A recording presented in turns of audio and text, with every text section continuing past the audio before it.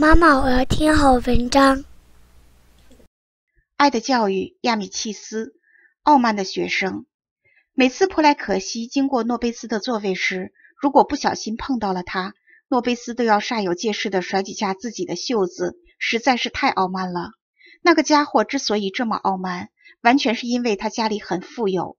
说到这儿，我就想起了戴洛西。戴洛西家里不也是很有钱吗？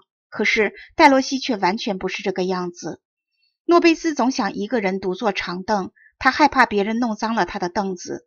他瞧不起别人，嘴角总是挂着一丝轻蔑的笑意。如果两个人并排走出教室，恰好那个人一不小心踩了他一脚，那可就不得了了。诺贝斯一准儿会说一些很难听的话，而且还会威胁对方说会让他的父亲收拾他。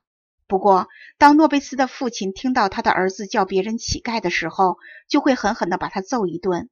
他实在是一个令人讨厌的家伙，从来没有人愿意主动和他说话。放学的时候，也从来没有人愿意和他说声再见。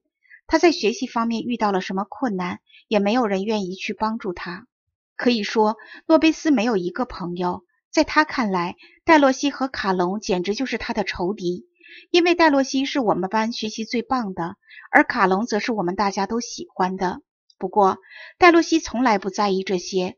当别人告诉戴洛西诺贝斯说了有关他的坏话时，戴洛西总是微笑着说：“那个家伙爱说什么就说什么吧，他实在是不值得我去揍他一顿。”有一次，诺贝斯嘲笑克莱蒂的猫皮帽，克莱蒂就对他说：“诺贝斯，还是请你认真学习一下戴洛西那样的绅士风度吧。”昨天，诺贝斯又跑到老师那里去告状，说卡拉布里亚少年踢了他一脚。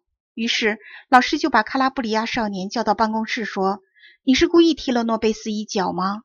卡拉布里亚少年说：“老师，我不是故意的。”老师对诺贝斯说：“听到了吗？人家不是故意的，你也不要再纠缠下去了。你不要把别人都想的那样坏。”诺贝斯仰起头，用傲慢的语气说道：“哼，我要回家告诉我的父亲。”老师有些生气了，对诺贝斯说：“你的父亲也不会袒护你的。况且，在学校只有老师才有权利判断对错、奖励惩处。”随后，老师又和蔼地对他说：“诺贝斯，你要好好的改变一下自己，你要尊重你的每一个同学。你看，学校里既有工人的儿子，也有绅士的儿子；既有富人家的孩子，也有穷人家的孩子。”我们都生活在同一个集体之中，我们是不是应该像亲兄弟一样相亲相爱呢？